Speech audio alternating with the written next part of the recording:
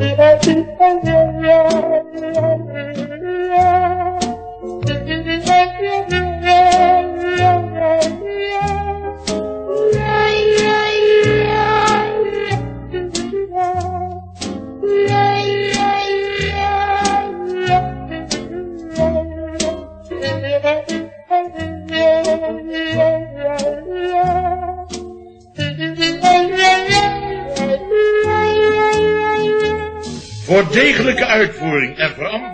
Vormgeving beleefd aanbevelen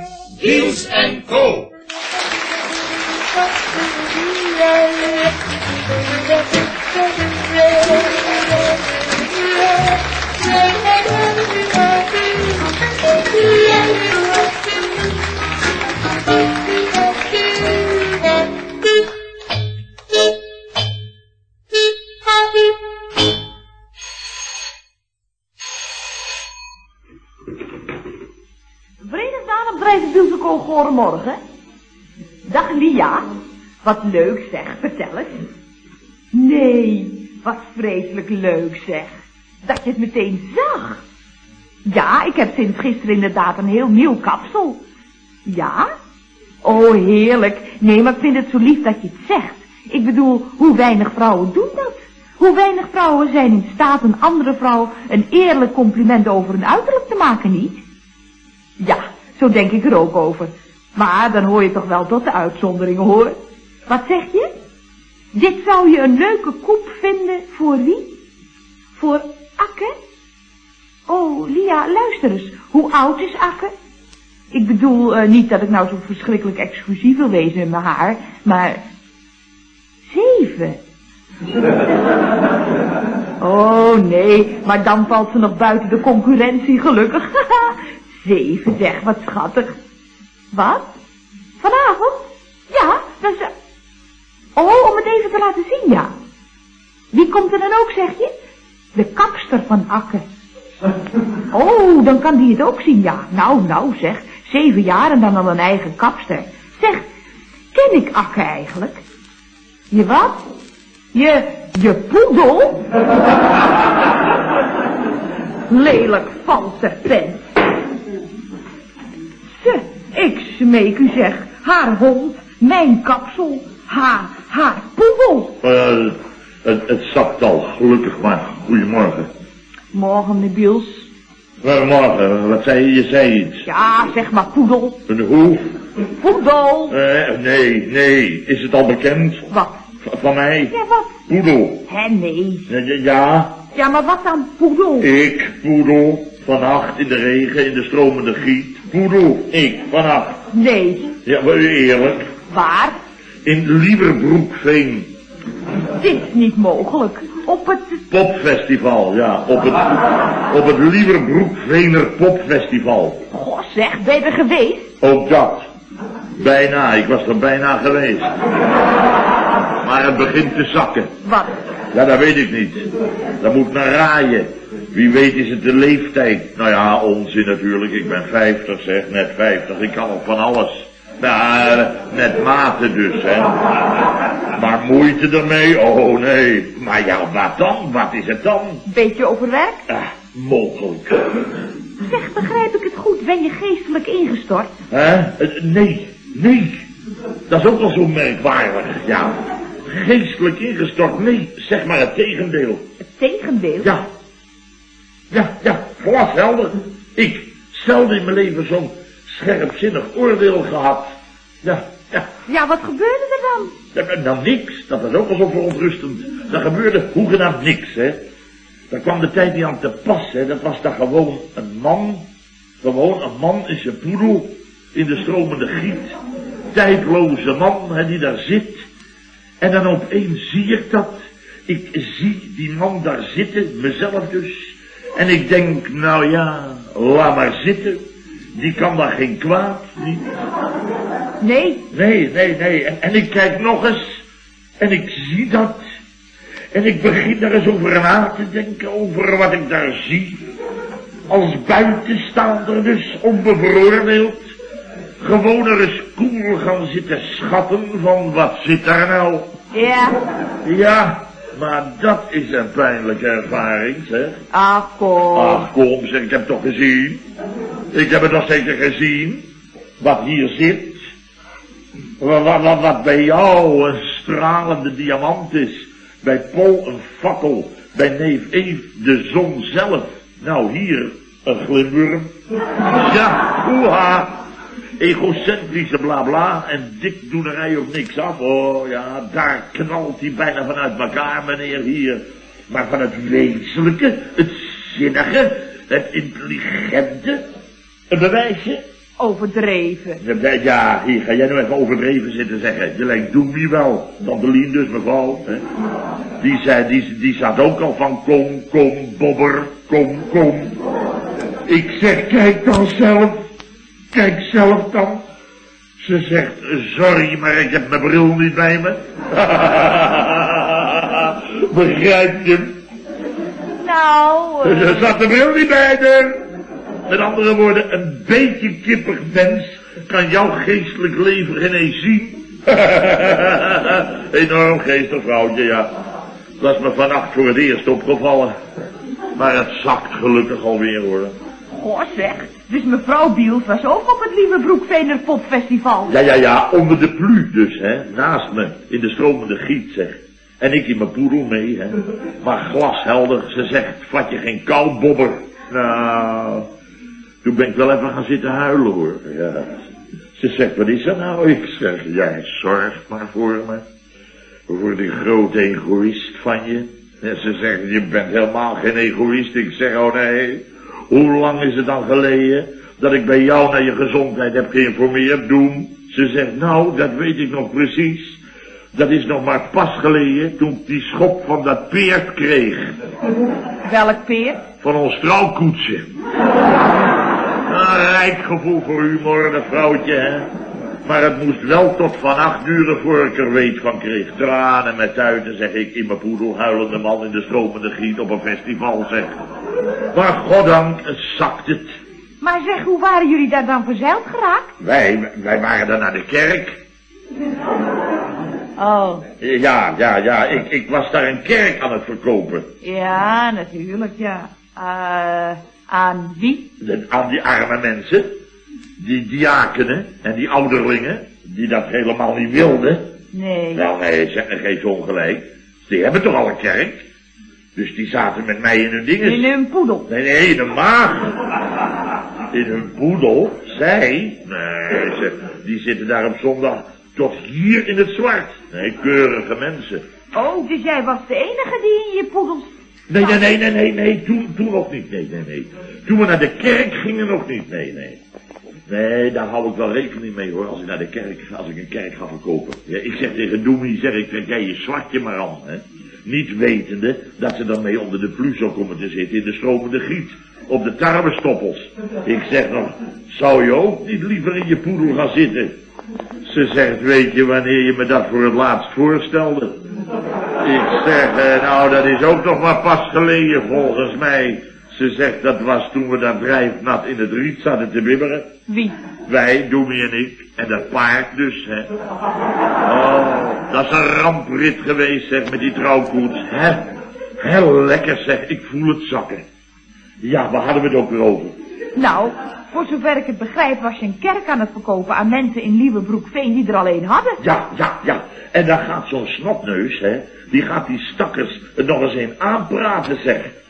Er moet nodig een nieuwe komen, mensen. Nou ja, ik bouw wel. Ja, jij bouwt wel. En wie mag die snotneus wezen? Die baard, die pluiskop, die dominee. Oh, zeg, wacht eens even. Hoe heet die nou ook weer? Witsteker. De eerwaarde heer Witsteker zelf. Baard raakt mijn sandalen niet. Ah, Jeroen. Wie? Jeroen Witsteker. Oh, ken je hem? Ja, zeker zeg. Malle Jeroen, dat is daar zijn eerste standplaats. Zeg, heeft u dat popfestival ook niet georganiseerd? Wat dacht je, die organiseert er alles in Lieverbroekveen. Vrouwenclubs, knapenverenigingen, oude vandaag gymnastiek. Eerlijk, hij schijnt er te bestaan. Die oude boerenmensen die in geen halve eeuw de ene spier voor de ander hebben gezet... om die de zwanenzang in de ringen bij te brengen. Oh ja, Jeroen wel hoor. Ja, Jeroen wel, ja. Dat zeg ik, knapenverenigingen, mannenkoor. Geen lidmaat of Jeroen mobiliseert het. Die arme diaken, die zei dat nog, hè, hoofdschuddend. Die zegt, dominee, die kan geen lid met rust laten. Morgen, chef. Morgen, Lien. Hoi. Hi. Morgen, Paul. Goeie, neef Eef. Daar, te helle. Daar heb je dan de heren van het Paradijs 70. Het is dat. Ja, hoe vond u het, chef? Koen, jongen, neem dit van mij aan. Hij ziet het niet. Hij... Dacht je, knaap? Nou, dat zou mij dan deksels teleurstellen, hoor. Iemand met de chef zijn intelligentie zegt, wat u, chef? Paul, beste Paul, gefeliciteerd hoor. Dank u, chef. Waarmee, chef? Beetje teleurstelling, Paul. Want ik verzeker je dat als ik daar in dat schattige Lieverbroek Vener kerkje de simpele dorpsdevotie uit de pilaartjes zie stralen, wat mij dan even recht in mijn donder raakt, een biels, gevoelsmens. En als ik dan voor mijn verbijsterd oog zich jullie volstrekt schaamteloze paradijs 70 zie ontrollen, merkwaardig misschien, maar dan gaat mijn intelligentie even op de heel zuinige spaarbrander, hoor. Ideale reactie, chef. Ja. Precies wat Kas zegt. Kas Kruin. Kas Kruin, onze regisseur. Ja. Je mag zo'n stuk eenvoudig niet verstandelijk benadrukken. Nee, je moet het eigenlijk meer zo ongeveer in zekere zin op je af laten komen eigenlijk wel, weet je wel. Ja, spijker op de kop, knaap. Spijker op de kop. Je moet je er als het ware als een ongeboren mens, ervaringloos dus, vrij voor maken. Hè? En dan pas, als een puur ontvankelijk cellenconglomeraat dus, dan pas kun je zo'n onderstroom van kosmische vibraties, zo'n paradijs 70, laat ik zeggen, in gaan zitten ademen. Chef, Ja hoor, Paul, kwestie van inademen, Paul, ja. precies wat ik bedoel, chef. Maar met één verschil, Paul. Te weten dat de geur van een emmer mest zijn agrarische bekoring kan hebben. En dat hij in geen enkele verhouding staat tot de helse stank van wat daar boven jullie paradijs 70 hing te walmen. Boven die gierkar van de geest. Geloof me, daar is een koe een kind bij. Ja, ik, ik ben zo vrij er een vraagteken achter te plaatsen, chef. Ja, ja. Paradijs 70 wil niets anders zijn dan een voor de eenvoudige van geest verstaanbare allegorie. Wat, wat het zeker was. Sterker nog, noem het maar een allemachtige gorie. En die boeren maar flauw vallen, zeg, van de stank, bij rissies. Ja, nee, dit was van de volte. Ja, ja, ja, ja, ja, daar kwam er ook nog bij te hellen. De volte. Ja, dus als ik het goed begrijp, heeft Jeroen jullie met het paradijs naar Lieverbroekveen gehaald. Leen, meid, wat die knaap daar in dat dorp in beweging zet, sprakeloos. Die boerenmensen sprakeloos. Chef, die mensen adoreren hem. Die verdringen zich om hem, om hem heen te mogen aanraken. Met de hooivork, ja. Maar u zegt zelf dat het er stampvol was. Jazeker, maar waarmee? Dan poogt zich even voor 40.000 man aan popgaaiers de eredienst in te persen. Onder het motto even de kerk raken. Chef, geloof me, daar stond Jeroen bij te snotteren. En stelt u het zich even voor, een afgestudeerd theoloog, chef, titel in zijn zak. Maar die stelt zich op midden tussen de mensen. En die organiseert daar voor 40, 50.000 man, moeilijk jong volk, dat festival. En hij zegt daar tegen, mensen, als er onder jullie zijn die zondag in mijn oude kerk willen komen, graag. En hij zegt tegen mij, Jeroen, hij zegt, Koenjo, als er twee zijn, dan is het voor mij dik halleluja. En dan is het uur daar, chef, en dan komt dat hele festival als één man overeind. En, en dat kraakt die kerk, ja, dat kraakt die kerk. En waar ligt dat dan aan, chef? Dat ligt aan de wolkbreuk, Paul. En dat ligt eraan dat als het op schuilen aankomt, voor de tuig niks heilig is, Paul. Nee, voor mij is het een zeer zuiver aanvoelen van het begrip schuilkerk. Hè? Knaap, Ja. Eef, Eef, je zegt het even. En dat, Lie, dat is wat Jeroen daar in Lieverbroekveen even aan het openmaken is. Hij zegt wat ze geloven die pinken, dat zal mij een grote herderlijke zorg zijn.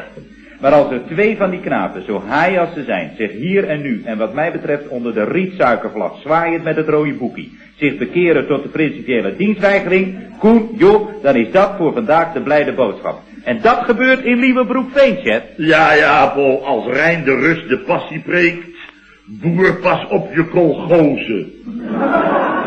Die, die sterven van de centen, die boeren. Precies, chef, dat zegt Jeroen ook. Hij zegt, Koen joh, bij me gezond, maar ik preek dat taaie tuig het goud de kous uit. en dan ontwerp jij voor mij zo'n klein kerkje, hè, waar ze op hun knieën in moeten. En daarnaast een knol van een pastorie. Annex bietbunker, annex harstent en annex stuftempel. en dat wordt een enorme rotzooi, voor het oog. Maar in wezen, Koen, In wezen wordt dat de alternatieve kerk. Ja, zo ludiek als de Pieter, hè. Trouwens, wat we aan die oude kerk verknutseld hebben, hè. Poest dat ook even niet uit, hè. Ter helle, wees daar maar niet nieuwsgierig naar. Nee? Nee, niet voorstelbaar. Zeg, toen we daar aankwamen, Doemie en ik, Doemie in de zwarte, kerk nog leeg, voor de dienst nog, hè. Begroet door de heren kerkraadsvoorzitter, hè. Die bezorgd iets mompelt van, ja, wie hun dat dominee nu kaartenbouw laten wil zeggen. Ik zeg, ja, maar wat markeert er dan aan deze? Man klaarde meteen op, hè. Andere notabelen erbij, voorzichtige opmerkingen van, joh, wie begrijpt er ook de boom van? ik zeg, nou, dan zou ik die meneer toch eerst maar eens even als de togen strekken. Toga. Hoe? Toga. Oh, is dat meer fout? Nou ja. Nou ja, dat geeft niet hoor. Maar ik was dan meteen wel even de gevierde bink, zeg. Ik zei het maar even luid op, wat die arme mensen al niet eens meer durfden denken. Hè? Ik kon er geen kwaad meer doen. Daar was geen eerbetoon te veel. Dat was meteen van, wilde hij vandaag dan klokkentouw trekken. Ja, klokkentouw trekken dan, begrijp je? De gemeente ter dienst bijeren. Dat ik zeg, mijn heren, het is mij een eer. Doe me trots op me, hè, in een zwartje, lieve meid. En ik het eerbiedige ruk aan dat zware door de eeuwen geadelde touw. Ter helle van dit dus, hè. Ja, ja, ja, wat een sfeer, hè? Ja, ja, ja, maar je staat er wel even vreemd te kijken, hoor. Als dan het verwachte statige bimbam uitblijft... En in steden daarvan hoor je boven je door de galmgaten het duizendvoudig versterkte geluid van een zich ontladende stortbak over de stille dorpske klateren.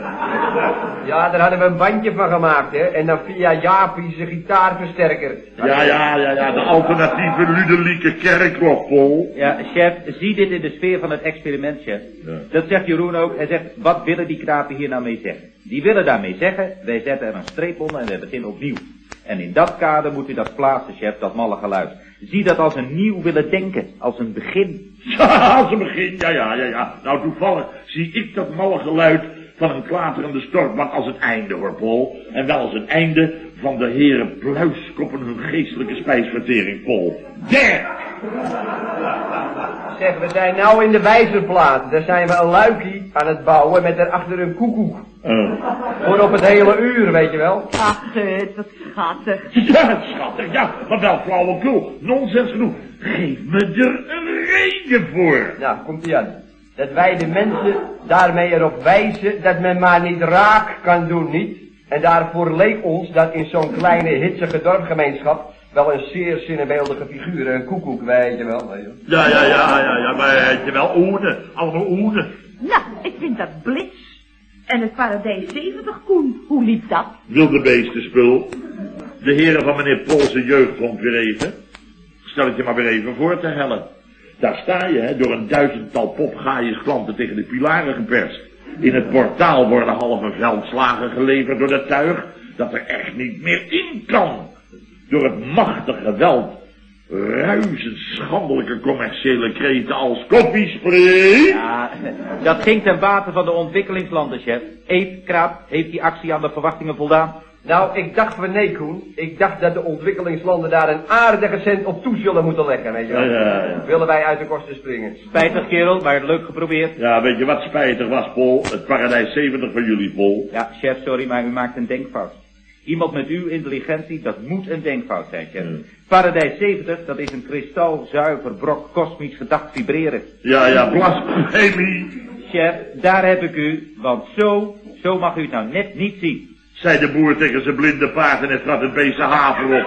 Waardoor, Paul, hoe moet ik het dan zien? Eh, chef, als een allegorie, chef. Die knapen van het honk, die willen dat eenvoudig kerkvolk alleen maar openmaken, chef. Uitzicht geven op... Het baganaal. Nee, op die andere maatschappij, chef. Op dat te hervinden paradijs van op heden. Dat ze daar wel degelijk een twintig minuten lang waarmaken, die vogels en die navels van ons, chef. In die figuur van de eigen tijdse Adam en Eva, ja. Ja. Die u vooral niet historisch of religieus mag zien, maar als de archetypen van schuldeloze puurheid, zoals die in deze nieuwe beschaving kan leven, chef. Ik heb het gezien, Paul. Ja, zo in de zin van zonder rechtsvervolging van de gebruikers van de zachte druk dus eigenlijk, weet je Ja, wel. ja, als ik jou was, dan zou ik mijn mond maar niet eens meer open doen, zeg. Nee, weef. Die ging dan even op voor Adam, zegt de Helen. Jawel, de kledij, zeg. Zoekplaatje, hoor. Waar is mijn vijgenblad? Maar wat? Mijn vijgenblad. Oh jeetje. Wat? Wat? Ja, nee, nee, nou je zegt mijn vijgenblad. ik ben mijn klaverblaadje, hè? Ja, ik, ik dacht ook al, knaap. Ja, ik ook, Koen. Ik zeg, hoe ken dat? Ik loop te krimpen van de kou. Wat? Ik zeg, ik liep daar te krimpen van de kou. Ja, ja, nog een geluk. Ja, chef, het blijft lekenspel, chef. In al zijn veilbare jeugdigheid. Nou, en als ik die twee daar ergens even bezig zag, Paul, hè. Die Eva en die hem hier. Nou, dan moest ik even aan het hoogst bejaarde beroepswerk denken, hoor. Ja, ja. Ja, zij heeft wel talenten, even, ja. Niet zozeer als actrice, maar wel eh, als appelvrouwtje. Ja, pu- pure waanzin. En nog onverstaanbaar ook. En net als je daar dan, als je je daar dan maar bij neerlegt, dan krijg je er even voor een paar miljard decibel aan op je koude dak in zo'n galmende kerk, zeg. Zulke brokken kalk in je nek. Daar werd in de middeleeuwen die op gebouwd. Zeg, maar is dat nou wel historisch verantwoord? Ik bedoel, het paradijs, Adam en Eva... en dan opeens zo'n zingend groepje andere mensen. De helle, stel je gerust, dat zijn geen mensen. Dat zijn krijzende wilden. Nou, Paul, je moet me niet kwalijk nemen, maar dan ben ik zo vrij om schande te gaan roepen. Was u dat, chef? Ja, dat was ik, Paul. Chef, chef, weet u wat Jeroen zei? Hij zegt, ik had die man wel om zijn hals kunnen vallen. Nou, dan was hij eens één keer aan het verkeerde adres geweest, hoor. Of aan het goede, het is maar hoe je het bekijkt. Nee, maar dat is nou juist Jeroen's bedoeling, chef. Hij zegt, Koen, joh, dat preken, ik krijg het mijn strot niet meer uit. Ik wil het samen doen, ik wil weer werk. Hij zegt, Koen, eerlijk, soms krijg ik ze wel eens midden in hun stomme boerenburgersmoeltjes. Zeg dan wat. Maar dan gaan ze met die grote zitvlak op uw stoel zitten schuren. En ze bekijken, kijken elkaar eens aan en niks. En dan roept u één keer schande, chef, en hij heeft het, Jeroen. Het gesprek, de discussie. Nou, hij misschien wel, maar ik niet, hoor. Nee, chef. Nee, Paul. Als ik er dan onder de meest liederlijke verwensingen door een duizend pluiskoppige menigte gemolesteerd word, met verfbommen en dergelijke, nou, dan noem ik dat dan niet direct een discussie, Paul. Hè? Nee, niks ergs hoop ik. Ah, nee, terwijl, nee, nee, ik had geluk hoor, ik bofte. Dat er net op dat moment het gerucht ging dat het buiten weer droog was. Nou, en dan wil dat Gaius wel eens voortijdig de kerk uitwezen hoor. Nou, gelukkig maar zeg. En jij? Ik als een kurk. Als een kurk? Ja, wat dacht je? dat je daar tegenin komt? Nee, vergeet het maar hoor. Drijf maar rustig mee als een kurk op de branding. Je komt wel ergens terecht. Ja, waar? Op het popfestival. Ik zal maar niet zeggen hoe. Ik zal maar niet zeggen in welke staat. Wat ik daar gezien heb. Poe, poe. Ah, en mevrouw Biel? Kwijt in de kerk al. Spoorloos. Nog uitgekeken naar dat zwartje, maar nergens. Ik denk, eh, die zal ook de akker wel opgespoten zijn, dus ik ga maar eens vragen. Bij de informatiestand. Nog handig van je. Ja, nog handig een uur in de rij staan, dat wel. En tegen dat ik aan de beurt ben, zie ik die mensen voor me hun mouw oprollen. Ik denk, je krijgt zeker een stempeltje op je arm. Dus ik doe dat ook maar. Ram! Injectie naald in mijn vlees. Ik zeg, wat krijgt u van me? Ze zegt, dat is bij de prijs inbegrepen. Stond ik in de verkeerde rij, zegt de EHBO, stent neem ik aan. Ja, hoe je het noemt, noem je het, hè? En uw vrouw niet gevonden? Jawel, jawel, meteen. Nog geen vijf minuten later, onder de plu, midden in de nacht. Hè? Ja, ja, ja, nou je het zegt, maar het was midden in de nacht. Wat ben ik blij dat het zakt, mensen! Hè, wat het ook was. Nou, dat zegt u nou, chef, maar ik sprak gistermiddag even die cameramensen van het journaal en die zegt, jongens, wat ik geschoten heb, daar loopt bijvoorbeeld daar ginder ergens zo'n dikke, oude, zwaar geflipte figuur in zijn poedelnoedel rond te hossen, zegt, niet te geloven! Ja, ja, daar was van alles mogelijk, hè, eerlijk. Ik zei nog tegen Doemie toen ik daar s'nachts in mijn poet... Grote goden! Ook dat nog, Ritterman. Verenigde met bedrijven Wilson Goedemorgen. Ja, over Adam gesproken, Doris Sors. Ja, die is de schat. Hier komt die. Ja, net op tijd gezakt, hè. Dank je. Biels hier. Ja, meneer Rinneman. Charmant dat u even... Het wat, meneer Rinneman? Merkwaardig, zeg. Dat u daar, dat u daar het journaal noemt. Daar, daar heeft de heer Polleman hier net nog geen minuut geleden... U meent wie op wat gezien te hebben gisteravond, meneer Rinneman? Mij op het scherm in mijn... In mijn poel? Dat ben ik helemaal in mijn poel. Dat ben nooit met die... Dat kan ik. Ik heb er nooit in mijn poel.